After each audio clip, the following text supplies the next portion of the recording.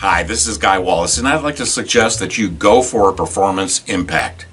If you clearly understand the tasks and the outputs and the stakeholder requirements for both, you'll be better able to communicate and market your instruction, training, or learning to your target audiences and their management so that they'll be more likely to take maximum advantage of your offerings in terms of the timing of the instruction according to their local needs.